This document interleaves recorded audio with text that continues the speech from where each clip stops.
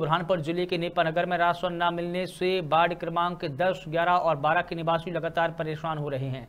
सरकार द्वारा संचालित स्वास्थ्य की उचित मूल्य की दुकान पर सर्वर डाउन बताकर दुकान संचालक द्वारा राशन नहीं दिया जा रहा है जिसके कारण वार्डवासी लगातार परेशान हो रहे हैं। वार्डवासियों ने कहा कि दुकान संचालक हर बार हितग्राहियों को सर्वर डाउन होने का बहाना बताकर राशन नहीं देता है जिससे कि दूर दूर से चलकर आने वाले बुज़ुर्ग हितग्राहियों को खाली हाथ बेरंग वापस लौटना पड़ता है।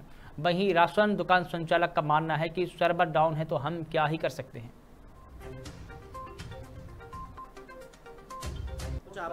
सर्वे ऊपर से जो बताते हो कि ऊपर से डाउन है बोले?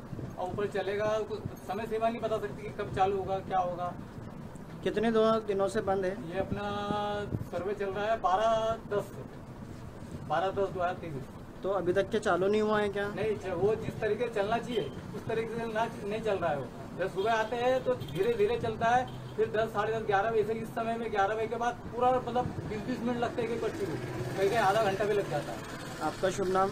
राजेश पटेल। हाँ काका जी जैसे यहाँ पर आपको अनाज नहीं मिल पा रहा तो किस कारणों से आपको अनाज नहीं मिल पा रहा है? सर्वर नहीं चल रहा है। इस कारण से हम रोज आ रहे हैं दो तीन दिन हो गए।